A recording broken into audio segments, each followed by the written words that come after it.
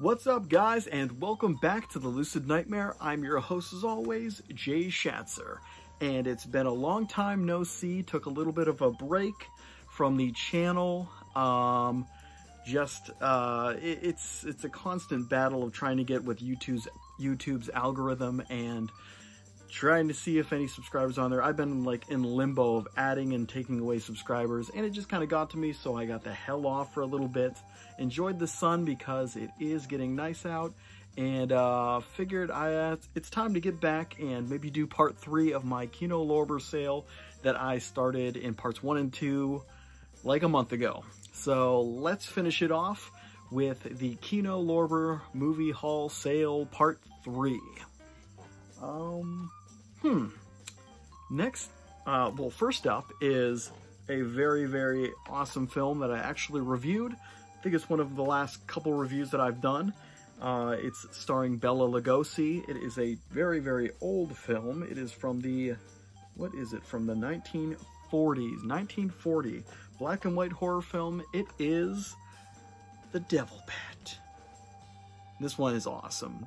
Definitely, if you uh, checked out the review and enjoyed it, definitely pick up this release from Kino Lorber.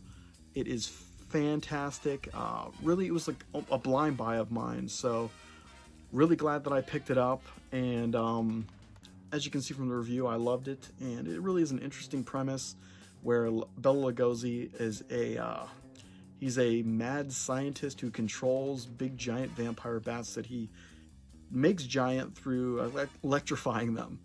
Uh, but he sends him out on little missions to kill his enemies that have wronged him, and just a fa fascinatingly weird and fantastic black and white horror flick.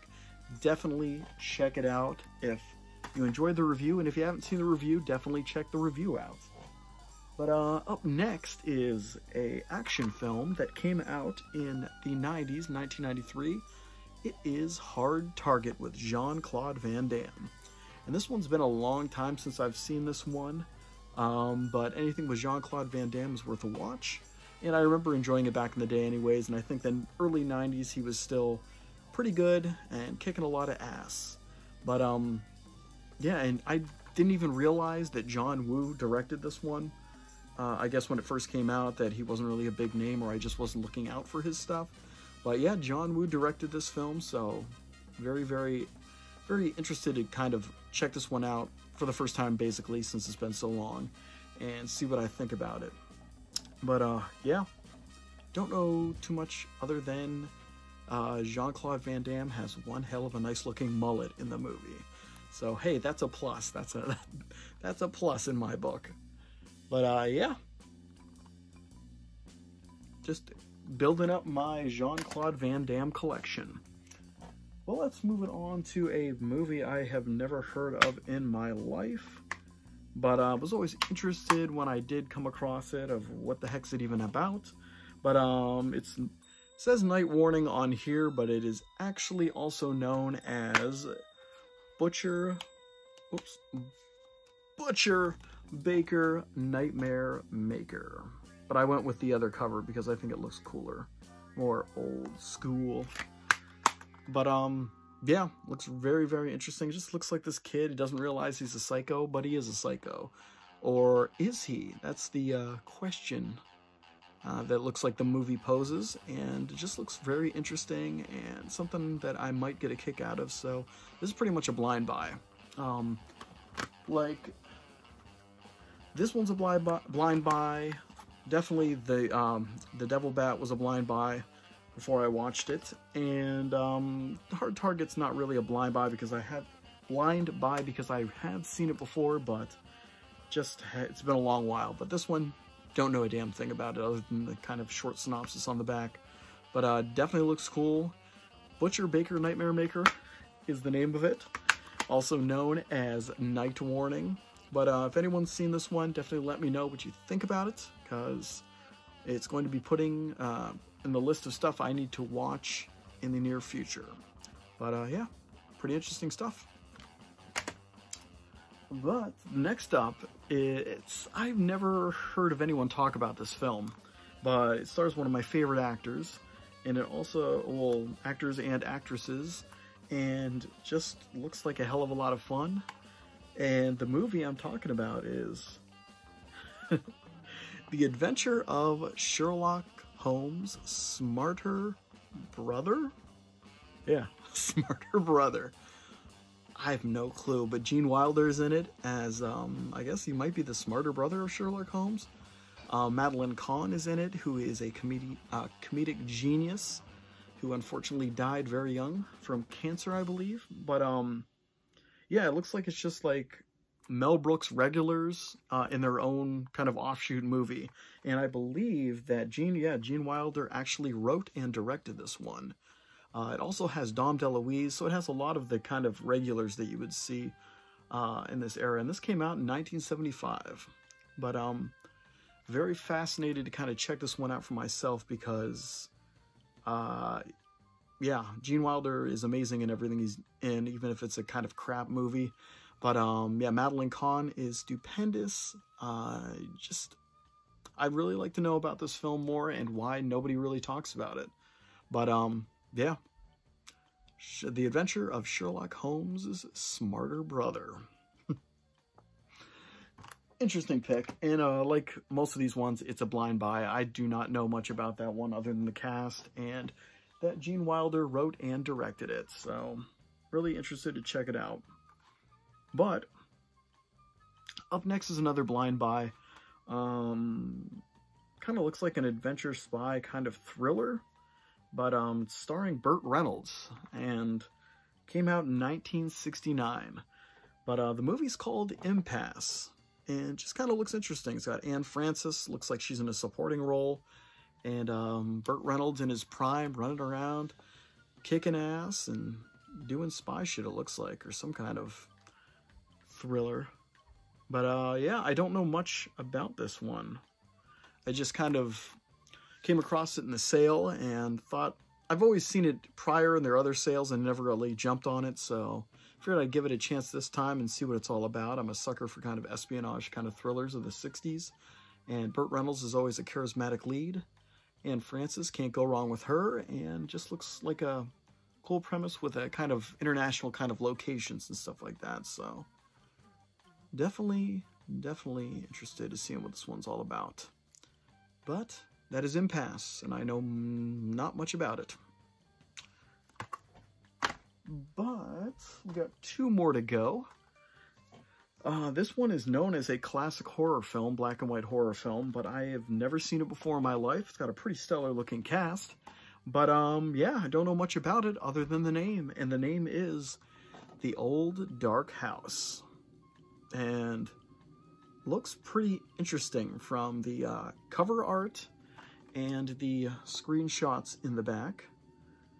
Uh, it's got Boris Karloff in it, and um, just looks very interesting. And this is a new 4K restoration of the film, so betting it's looking pretty nice, and it's from the 1932, so we got early 30s here. And I'm hoping for like a nice bit of class, some gothic looking visuals, and Says on the back, a mastery mixture of macabre humor and gripping suspense. So, interesting combination. But, um, yeah, I always like kind of creepy house, uh, dark house movies, like haunted house movies or just movies that are set in a house where people are getting picked off one by one. Those are always interesting and always kind of focus on this uh, cast and characters. So I'm hoping that this one has that same bit of flavor from, but from its reputation, pretty um, sure I'm going to enjoy this one. But that is the Old Dark House. Another blind buy, basically. But last but not least is a very, very early, early film. We're talking 1916. Uh, black and white kind of adventure science fiction film. But um, blind buy, another blind buy, but this one is 20, I'm trying to, it's 20,000 Leagues Under the Sea, but I was trying to see if any of this stuff was in it, but I guess it's Jules Verne's 20,000 Leagues Under the Sea. But, um, looks very interesting. I'm pretty sure it's probably a silent movie, so it's a silent era film. Black and white, uh, kind of bringing to life Jules Verne's writings. Uh, you'll get, looks like we're going to get a lot of crazy undersea um, octopus action and stuff like that with his submarine story. Uh, like, I've seen the other versions of 20,000 20, Leagues Under the Sea. Uh, they're all uh, amazing in their own right. This one looks like it is going to be a treat to watch.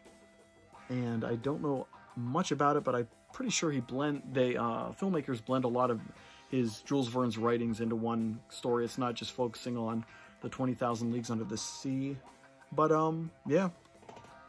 Looks pretty badass, and I'm a sucker for old black and white silent films, especially works of Jules Verne. I love people's different adaptations of his work.